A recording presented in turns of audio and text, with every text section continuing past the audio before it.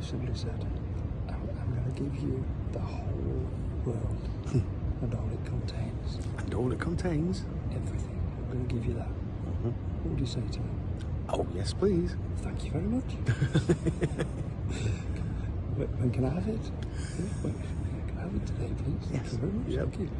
You see, after the after the azan for Fajr, you'll notice that in the masjid everybody stands up and offers two rakat Mhm.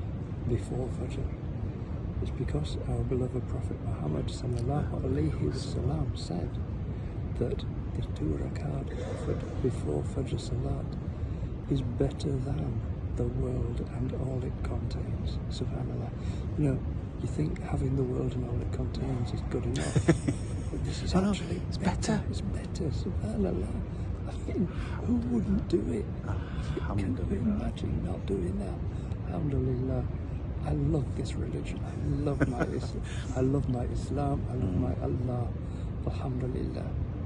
Alhamdulillah.